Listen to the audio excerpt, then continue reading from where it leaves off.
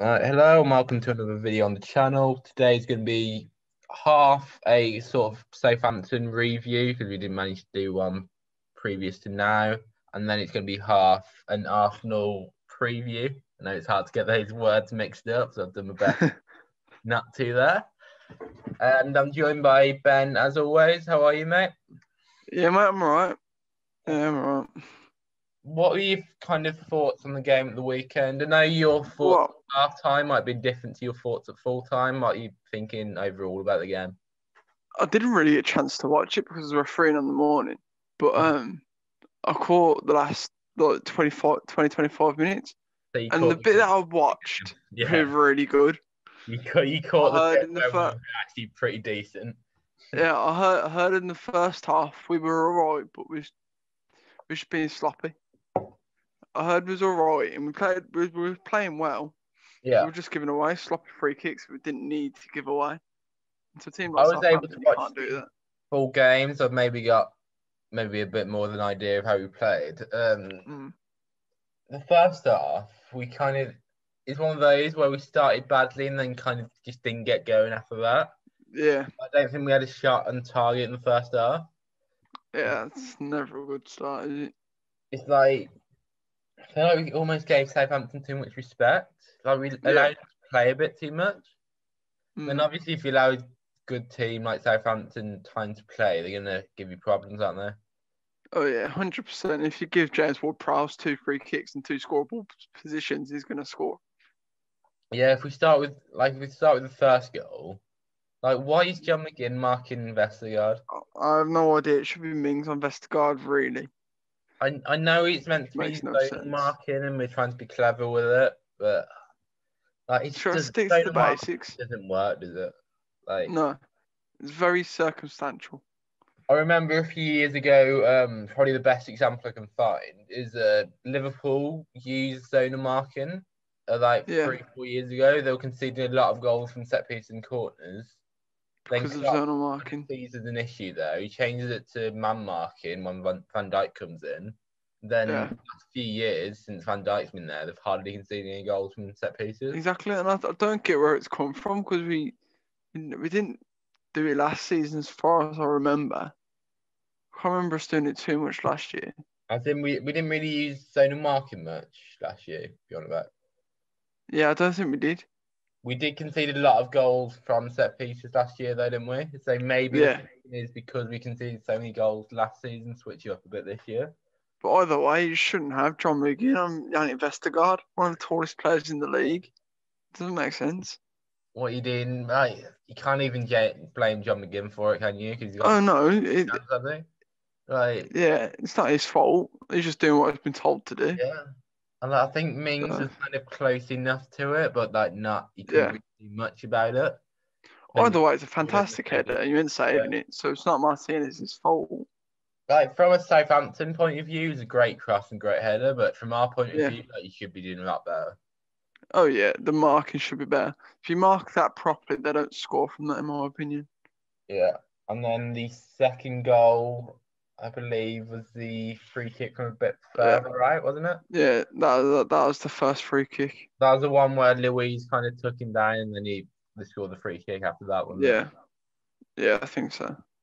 Again, like I said this Needless. on Twitter, like you've got a free they've got a free kick specialist. Why are you giving them free kicks like that? Yeah, It, bit it doesn't really make sense. sense. no. And then the second free kick is outstanding. Or uh, Oh, both free both free Mm. kicks are outstanding. You gotta give full credit. you're not saving them. Everyone's But- moaning about, oh, Martinez didn't move. Martinez this, Martinez that. What is he supposed to do? Uh, yeah. They're as like- far in the top corner as you're going to get it. Like, You're you're always get saving it. fans moaning if your keeper hasn't made a save in the game, but like Exactly. he couldn't. Do Not even the best keeper in the world saving them. Like, I think the thing people are looking at is about the fact that Southampton had four shots on target, scored four goals, but like Martinez can't do anything about any of them, can he? No, there's four unreal goals. Either way you look at it. Yeah. But from a Villa perspective, why are we giving away those free kicks when we know that We shouldn't be. On the pitch? Wasn't the second one a needless handball from Cash? I wouldn't say he's needless because if he, I, don't, if, I think if he doesn't do that, like Walcott's throw on goal. Mm.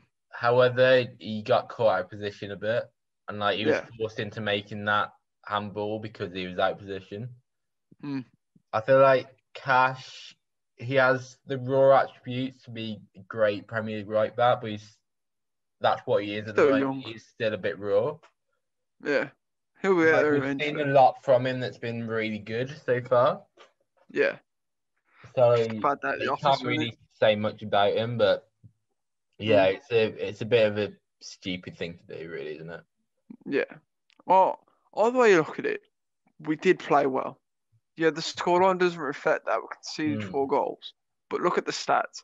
And I know stats don't stats don't say you deserve to win a game or you should win a game, but really we just weren't clinical enough. Are those stats kind of skewed by the fact that Southampton were already 4 0 up and then kind of took the foot off the gas, though? You don't you could say that, but even then they're still there. We should be taking the chances that we had. I heard Trezeguet had three chances to score. Yeah, they're all good McCarthy saves. just made some unreal saves. All good saves, was fair. Yeah, shall we go Mm, kind I of heard go he on to, the game of his life. Yeah, shall we kind of go on to the fourth Southampton goal?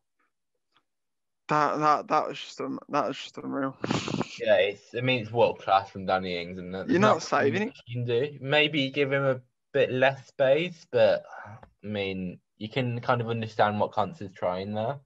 yeah, you, you're not saving it, and it's Danny Ings in form. So Yeah, if you, kind of don't do that, you kind you kind of turn to the other side. yeah, So yeah, like Danny Ings is is incredible form uh, at the moment. There's not really much. Yeah, he is. that. I have seen out Just for unfortunate. six weeks now. yeah, he's out for during the yeah, game. Yeah. yeah, it's around He's that. out for a while, which is going to affect Southampton massively. Be Yeah, I interesting to think see it will. actually how Southampton do without him. Mm. They got Che Adams up front. Yeah, then I've Che Adams, I've got Obafemi, haven't they, and Shane Long. Yeah, So I guess they'll just rotate between those three, won't they? they've got they've got some good strikers. To be fair to them.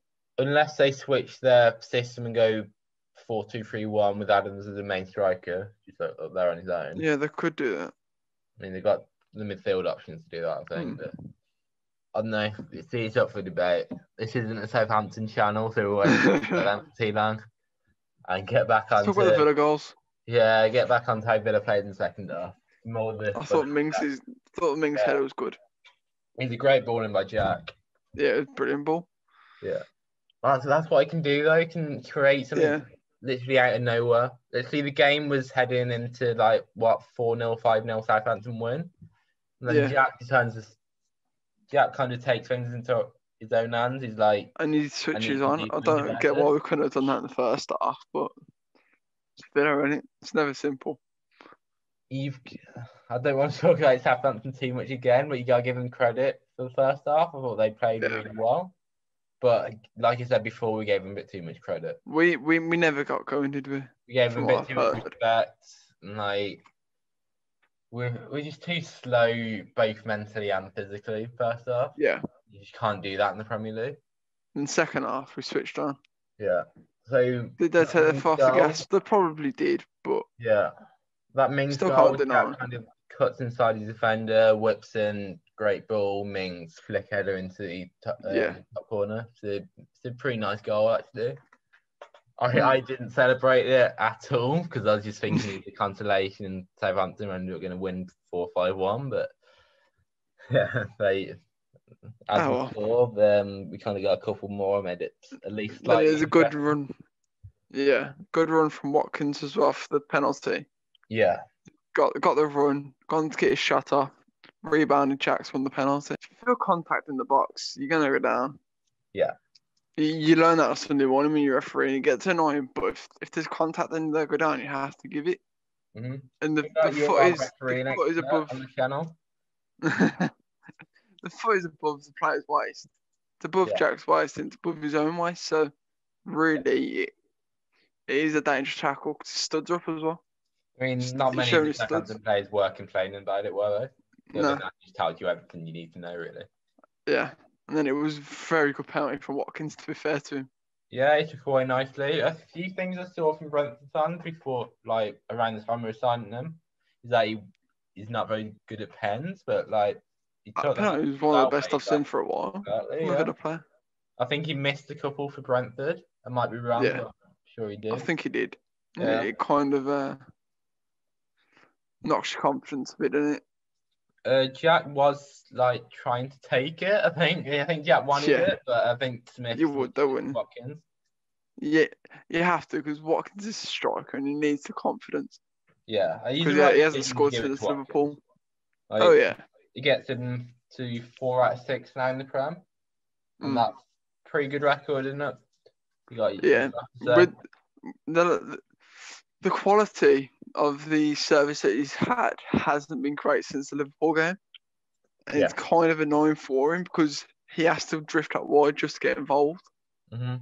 which then means we've got no striker in the box, Yeah. and it's not his fault. There's, the quality just hasn't been there in the service for him. We So move on to um Jack's uh, final Yeah. goal in like the like the 96th, 97th minute? yeah, it's a bit, it's a bit of a weird one. Mm. Don't know what's gone on there. It's shot, it's gone in. The keeper watched it go in. I was like, hmm? It's great technique on the sh- on the shot. oh, it was a great goal. Like the technique to get it like that flat and always without any back lift. yeah, Like, it, it's unreal. like it, it kind of doesn't move, does it? It kind of just arrows No. into the bottom corner. Yeah, it Like that far as and well, goes in. For it to I have think that it's the power, like to not move, like Mm. at all in the air. It was unreal. It's Great almost the Ronaldo technique. Like, Yeah, know how Ronaldo kind of cut, took, um, cuts inside, then almost knuckleballs it. It's almost like Yeah. a Ronaldo s technique. it was a great goal. Right, Can't how- take how it away good- from him. How good is he? Like, No, joke. Jack's easily top ten players in the league for me. He's just moment, something else. current form, yeah. Could could you imagine him if he was playing for? I'm not gonna say bigger club, but a bigger side. Yeah, I get what you mean. So Yeah. your Manchester Cities or your Liverpools. I, I, I've, I've said it for a while. He'd fit directly in a Liverpool. He just I've, would, the, I've- with the I've way they play. Yesterday. Um, he get into any team in the world other than Bayern Munich at the moment. I Bayern Munich would. would get any team he wouldn't get into in world football. They're getting cheaper most. He gets into Bayern Munich, so Occasionally, yeah. it's a bit. Like, I honestly, I wouldn't be surprised if Real Madrid or Barcelona put in a massive bid for him in the summer. It would cost them a heck of a lot of money. Would, yeah. But I still wouldn't be surprised if they try if they tried it. Barca have got no money at the moment. Yeah, that's true. But I'm I'm kind of So- thinking if Messi goes, that frees up a lot, of- lot of space. It would, but I don't think Jack would leave to go. I don't. I don't think Jack's going to leave Villa now. I think he would. Go to, I think he would go to either Barca or Real Madrid. It depends, doesn't it? Really, I it's don't like think he, I don't think he'd go to another Premier League club, but I think if like a massive European club came up, came in through and be too tempting. you can't say no, can you? I think if Bayern Munich, Juventus, PSG, Barcelona, and Real Madrid, one of those coming in through, I think he's gone.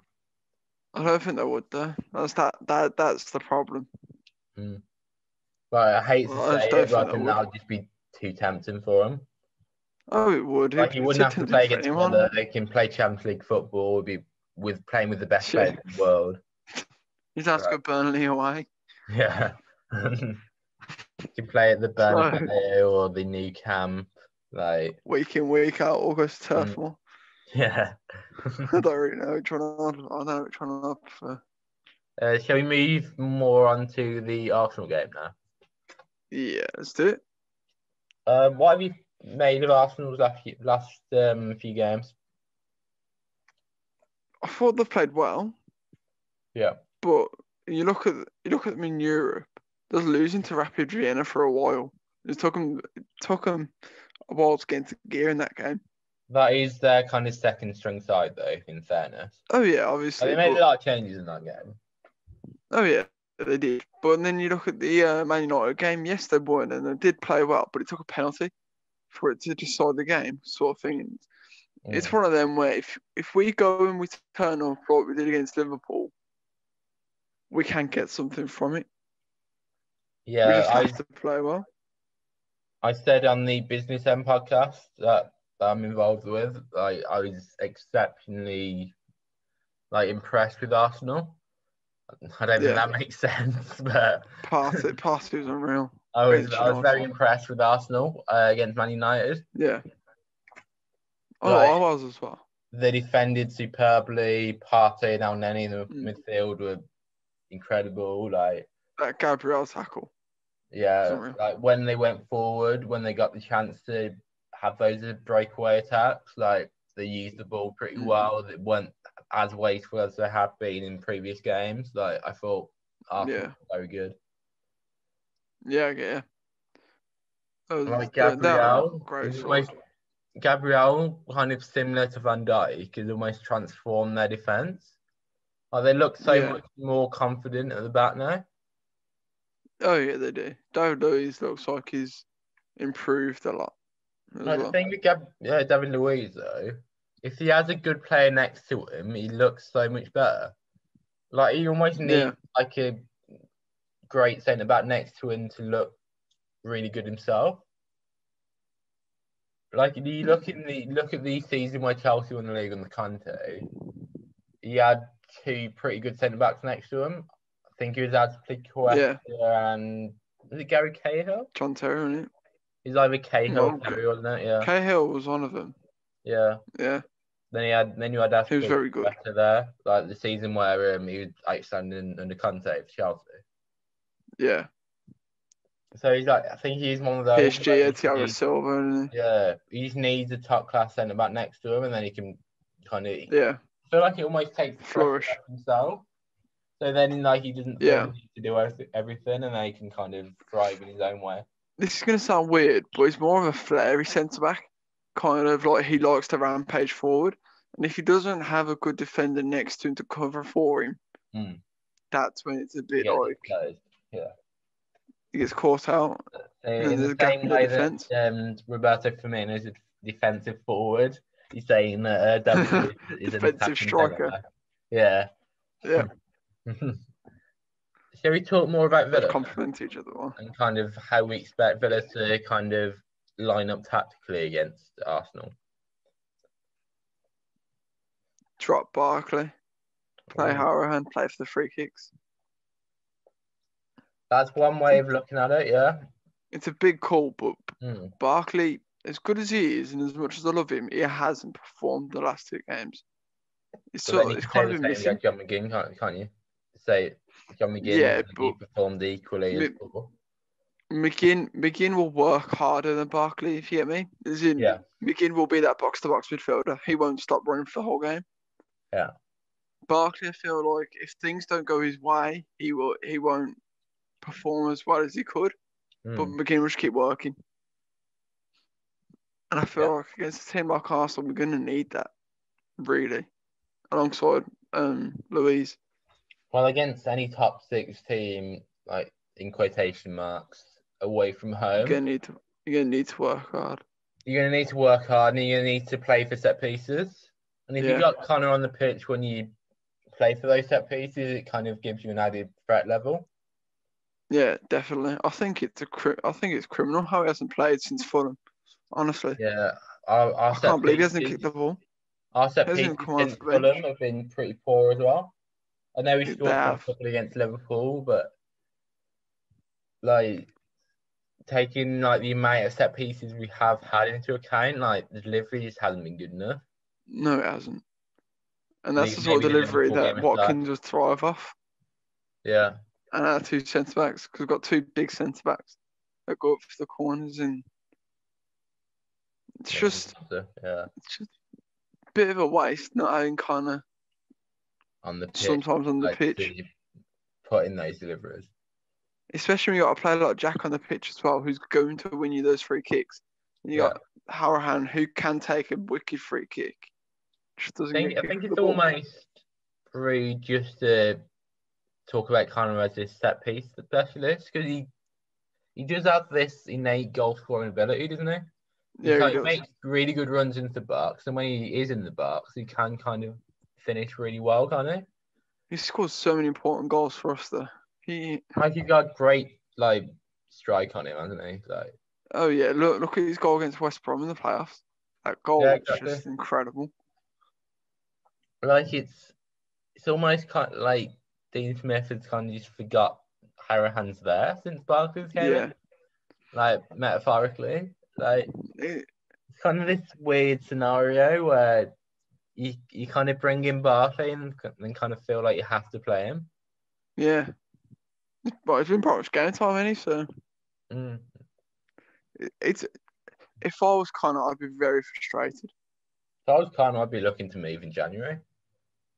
Yeah, I'd be looking for at least a loan move whilst Barkley's still here because he's a player with such quality. He could do a job for any Premier League side. I think I think I think Hourihane will get into any Premier League team in the bottom six. Oh, I agree. Like a team Like your like your West Brom's, he'd you- get into him. West Brom, yeah. He'd, he'd start every week in week out for those sides, wouldn't he? I, I don't think he'd leave permanently. I think Mm. Smith likes him too much to let him leave permanently. But kind of six month loan deal just for Yeah. just to allow him to play games. Yeah, But then on the on the flip side of that, like, what if one of our centre midfielders then gets injured? Like Hourihane would be perfect to slot in. yeah, he would. So you, got back what's best one. for Hourihane and what's best for Aston Villa. Well, Hourihane should be a, should be a substitute that does get onto the pitch every, Yeah. not every game, but most games. The Mhm. fact that look, it just baffles me how he can play so well against Fulham and then not get a look in, especially when we've lost our last two Yeah, things bit, haven't looked great. strange. Like, it kind of makes you wonder if anything's gone on behind the scenes. Yeah, Like maybe Well- Har- Hourihane was complaining too much about Barkley coming in and taking his place, or Mm. like I have heard he's doing his coaching badges with the Irish FA. Mm. Maybe maybe he's because he's doing that kind of. I, I, don't, I don't know. It's, it's a bit of a weird one, isn't it? Yeah, yeah, I just don't get it because he played so well against Fulham. It's just like, how does he not get kicked the ball since? Shall we move um, now onto your official predicted lineup for the for the game? It'll be Martinez in goal. I think it will be Cash, Cons and Mings, Targett, Luiz, McGinn, Hourihane, Jack, Watkins, Trezeguet. hmm So you're saying that Hourihane's going to come in for Barkley? Yeah, but that well, that's what I'd like to happen. Whether it will happen, I highly doubt it. For me, I think he's going to be unchanged again. I just I I think think, it will be. Smith likes his than Troy Yeah, Troy will come out. he for- um, tries the game for um, Traore, but the team that played the majority of the game, I think, will stay the same. yeah, I well, they played well. You can't fault them, right? yeah, I just think Smith kind of values consistency, and I I think he'll just give that lineup like one more chance to kind of prove themselves before he kind of then make changes. Yeah.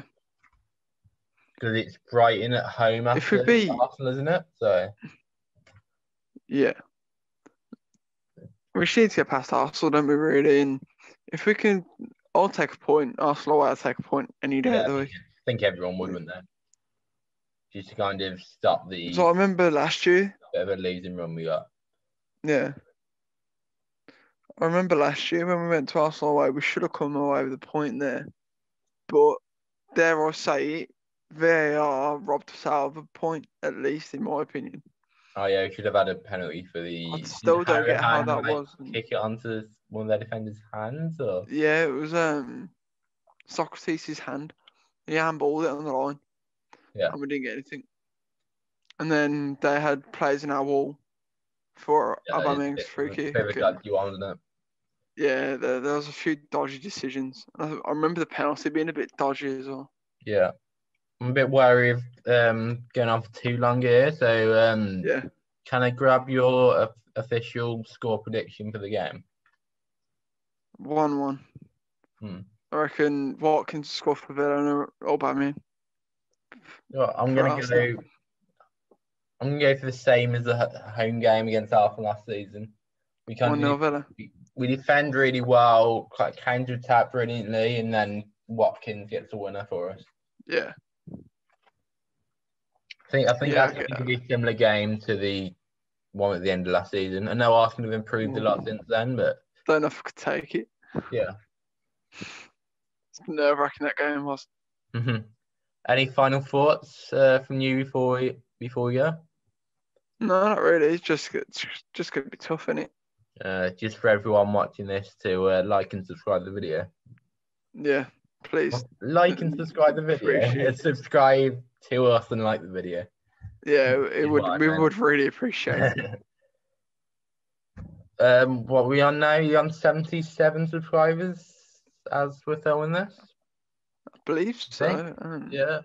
If we can get to 100 kind of within the next uh, month or so, that'll be amazing for us. So we appreciate anyone who uh, subscribes and likes and maybe leaves a comment. 78. Yeah, 78. So anyone who um, can help us out is massively appreciated. Yeah, we would really appreciate it. Uh, thanks for joining me, Ben. I No worries, mate. Thanks for having me. More from you in the, in the future. Oh yes, most definitely.